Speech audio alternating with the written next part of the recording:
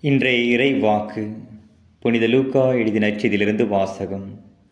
பிரிவு பதினாறு இறை வார்த்தைகள் ஒன்றிலிருந்து எட்டு முடிய அக்காலத்தில் இயேசு தம் சிலருக்கு கூறியது செல்வர் ஒருவருக்கு வீட்டு பொறுப்பாளர் ஒருவர் இருந்தார். அவர் தம் தலைவரின் உடைமைகளை பாழாக்கியதாக அவர் மீது பழி சுமத்தப்பட்டது. தலைவர் அவரை கூப்பிட்டு உம்மை பற்றி நான் கேள்விப்படுவது என்ன? உம் பொறுப்பில் உள்ள கணக்கை ஒப்படையும்.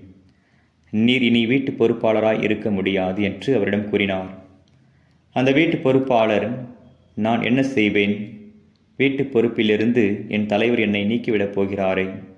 மண் வெட்டவோ என்னால் இயலாது. இறந்து உண்ணவும் வெட்கமாயிருக்கிறது. வீட்டு பொறுப்பிலிருந்து என்னை நீக்கிவிடும்போது பிறர் என்னை தங்கள் வீடுகளில் ஏற்றுக்கொள்ளும்படி நான் என்ன செய்ய வேண்டும் என எனக்கு தெரியும் என்று அவர் தமக்குள்ளே சொல்லிக் கொண்டார். பின்பு அவர் தம் தலைவரிடம் கடன்பட்டவர்களை ஒவ்வொருவராக வரவழைத்தார். முதலாவது வந்தவரிடம் நீர் என் தலைவரிடம் எவ்வளவு கடன் பட்டிருக்கிறீர்? என்று கேட்டார். அதற்கு அவர் நூறு குடம் என்ன என்றார். வீட்டு பொறுப்பாளர் அவரிடம் இதோ உம் கடன் சீட்டு உட்கார்ந்து ஐம்பது என்று உடனே எழுதும் என்றார். பின்பு அடுத்தவரிடம் நீர் எவ்வளவு கடன் பட்டிருக்கிறீர் என்று கேட்டார். அதற்கு அவர் நூறு மூட்டை கோதுமை என்றார். அவர் இதோ உம் கடன் சீட்டு எண்பது என்று எழுதும் என்றார். நேர்மையற்ற அந்த வீட்டு பொறுப்பாளர் முன்மதியோடு செயல்பட்டதால் தலைவர் அவரை பாராட்டினார். ஏனெனில் ஒளியின் மக்களை விட இவ்வுலகின் மக்கள் தங்கள் தலைமுறையினிடத்தில் மிக்க முன்மதி உள்ளவர்களாய் நடந்து கொள்கிறார்கள். இன்று நமக்கு வழங்கும் வாழ்வு தரும் கிறிஸ்துவின் நற்செய்தி கிறிஸ்துவை உமக்கு புகழ். இறையேசுவில் பிரியமான சகோதர சகோதரிகளை கெட்டவர்களாக மாறுவதற்கும் நல்லவர்களாக மாறுவதற்கும் அந்த ஒரு காகிதம் காரணமாக இருக்கிறது. ரொம்ப கூர்மையாக இருக்கும் கத்தியை விட ரொம்ப கூர்மையாக இருக்கும் அந்த காகிதம் சில நேரங்களில் நமது கலாச்சாரத்திற்கு கூட கெடுதலை ஏற்படுத்தக்கூடிய ஒரு காகிதமாக இருக்கிறது. பணம் அளவாக இருந்தால் அது நம்மை பாதுகாக்கும். அளவுக்கு அதிகமாக இருந்தால் அதை நாம் பாதுகாக்க நேரிடும். பணம் இருந்தால் நம்மையே நமக்கு தெரிவதில்லை. பணம் இல்லை என்றால் நாம் யாருக்கும் தெரிவதில்லை.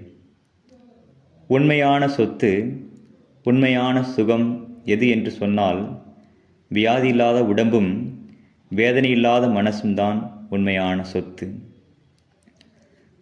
பணம் நமக்கு தேவை.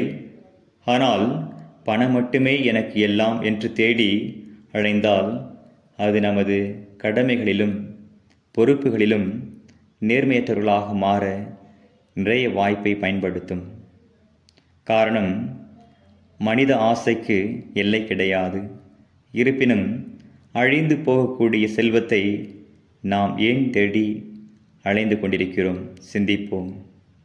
இன்றைய நற்செய்தியில் பார்க்கிறோம் பொறுப்பாளர் பொறுப்பற்றவராகவும் நேர்மையற்றவராகவும் மாறுவதற்கு காரணம் தனது ஆசை அதுவும் அழிந்து போகக்கூடிய செல்வத்தின் மீது அளவு கடந்த ஆசை கொண்டதால்தான் பொறுப்பிலிருந்து எடுக்கப்படுகிறார்.